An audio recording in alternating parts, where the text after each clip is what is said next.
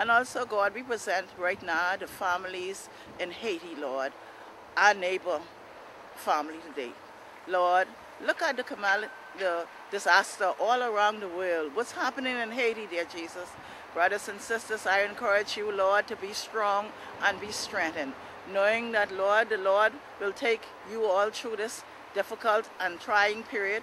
But in the meantime, may you all recognize, Lord, your strength, and Lord, this is so searching time. I pray that the sisters and brothers may be encouraged in Haiti and that, may, and that they may move closer to Jesus Christ in this difficult time, knowing that Christ is coming and he's coming soon and he's coming for ready people. And I say to the people of Haiti, Lord, be encouraged, be strengthened, knowing that the Lord will take you through this. And the meantime, Lord, increase your faith. This I ask in your precious name. Amen.